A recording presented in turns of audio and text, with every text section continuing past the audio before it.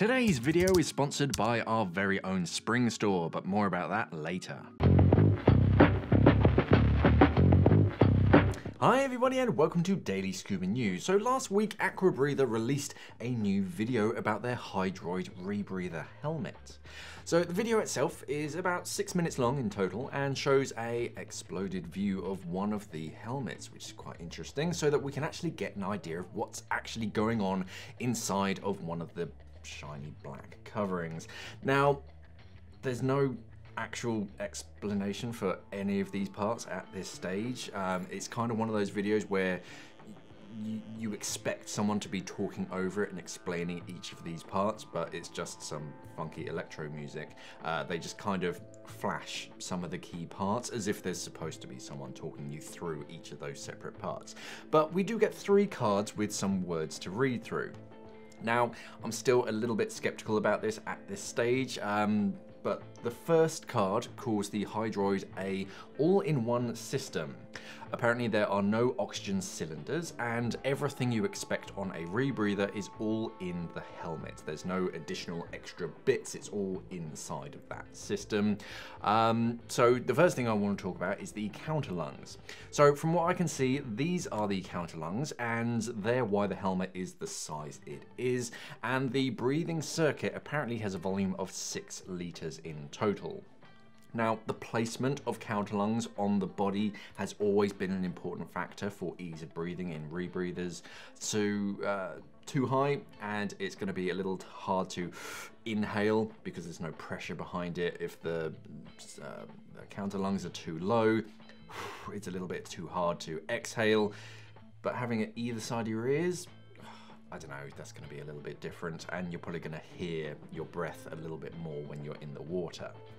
Despite the large size of the helmet, they claim that its optimal dimensional ratio and ideal mass balance will allow you to forget that it was ever put on.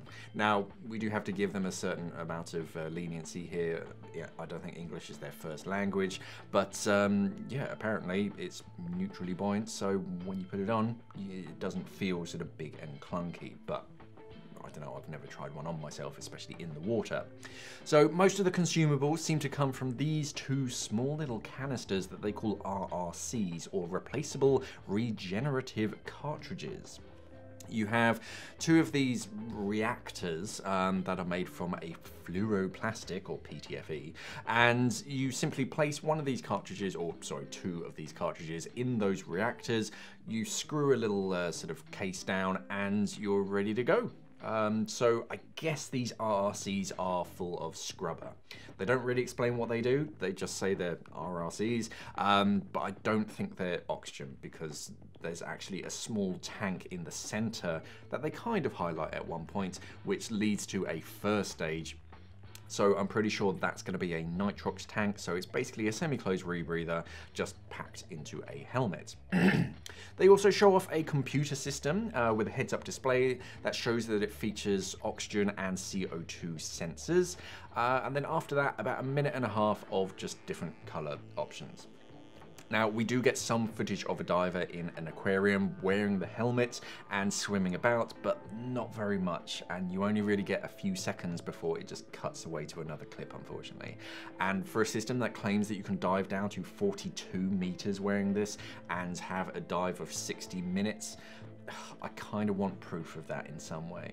I also want to know how you control the loop volume. Normally you can just exhale through your nose to break the loop, but the Hydroid is full face, so everything's covered. If you breathe out through your nose, it's not going anywhere.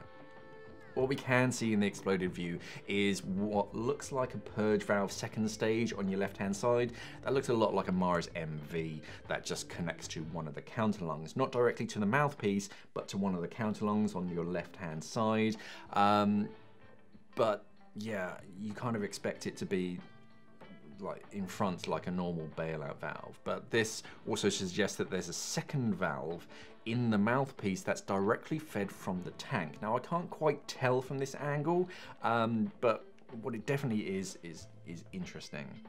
Now we've never really seen anything like this before and we'd love it if it could be a successful idea and design going forwards. We'll just have to wait and see Let me know what you think about the Hydroid in the comments below, and if you trust it down to a dive to, say, 40 meters. I mean, I'd be bringing my trusty open circuit bailout for sure, but let me know what you think or what you noticed in the exploded view that I may have missed in the comments below. And if you want to stand out on the dive site, then don't forget to check out our Simply Scuba merch store on Springs. Springs makes all of our custom t-shirts, hoodies, and other merchandise to order to help reduce clothing waste around the world. Right now, I'm wearing our Scuba Dude hoodie, but we have plenty of other designs, so check it out. And right now, we're kindly offering 10% off of your order when you use the code DSN10 when placing your order. Thank you for watching, everybody, and of course, safe diving. Boom, boom, boom.